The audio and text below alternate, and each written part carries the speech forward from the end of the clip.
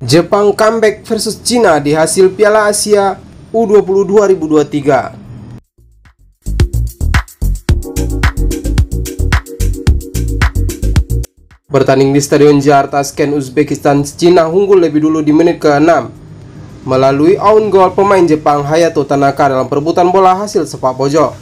Bola sundulan kepala Hayato Tanaka justru masuk ke gawang sendiri. Skor 0-1 keunggulan Cina. Perlahan tapi pasti Jepang berupaya mengejar ketertinggalan.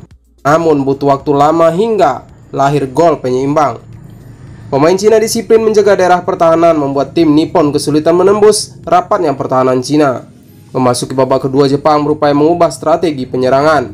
Semua lini dicoba, hasilnya pun memuaskan. Comeback dengan dua gol di menit ke-66 dan 70 dan diborong Naoko Kumata. Jepang sebenarnya peluang menambah gol setelah wasit asal Irak menunjuk titik putih penalti di menit ke-90. Namun bola sepakan Matsuki berhasil ditepis kiper Cina. Hasil pertandingan Piala Asia 2023 Jepang versus Cina dimenangkan Jepang dengan skor 2-1.